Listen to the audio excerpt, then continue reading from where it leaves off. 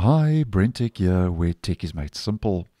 So, yesterday I posted that Microsoft had started the rollout of this year's annual feature update for Windows 11 version 24H2 to the release preview channel insiders. And as I mentioned in that video, which will be in the end screen, this is for customers to preview the update ahead of general availability later this year in 2024. Now, in regards to Copilot, which is going to be getting quite a major update with an In24H2. In regards to Copilot, currently Copilot is not a standalone app. Uh, it's currently slides out from the right hand side and is part and parcel of the Windows 11 desktop and cannot be moved around um, or minimized to the taskbar. Now, this is where this is all set to change. And as mentioned, Copilot is going to be getting a little bit of an upgrade when it comes to the UI and the actual overall functionality and experience when using uh, Copilot in Windows. And um, as part of 24H2, um, Microsoft say they are evolving the Copilot experience, as they call it, on Windows as an app that will be pinned to the taskbar. So here we can see once again, if we just zoom in here a little bit, that once again Copilot is going to be moved away from the system tray and then uh, placed once again back in the center taskbar where the app will be able to be minimized and maximized like any other native app um, on Windows. And Microsoft says this enables you to get the benefits of a traditional app experience, including the ability to resize. So you'll be able to resize the app, which I think is nice, move and snap the window. And they say this is due to feedback from users throughout the preview of Copilot in Windows. And I actually think this becoming its own so called native app, for want of a better word, in Windows, I think is a nice move in the right direction. Now, here you can see a couple of differences.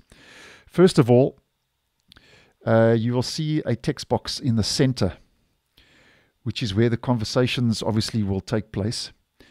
Uh, then the recent conversations or your uh, chat history um, are listed in the left navigation pane with the notebook and plugins options listed at the bottom left hand corner as we can see.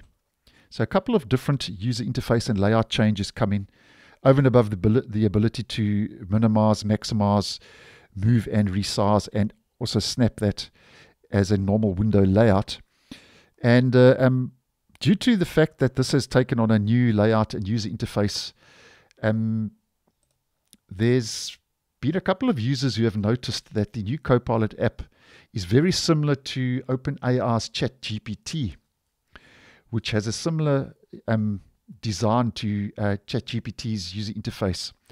And the Copilot app, as we can see, has the uh, left side vertical menu like ChatGPT, where it displays your recent um, conversations, as mentioned.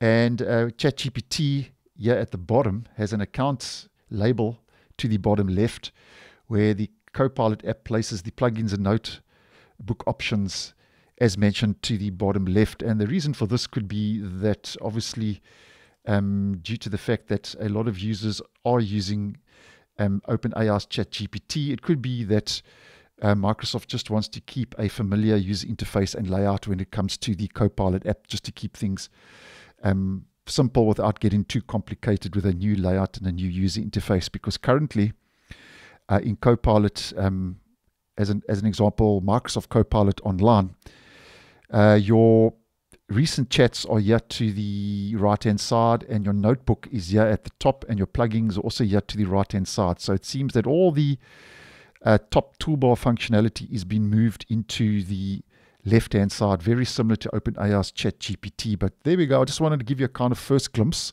for want of a better word, of the new Copilot app, which is going to be part of this year's annual uh, feature update for Windows 11 version 24H2. So thanks for watching, and I'll see you in the next one.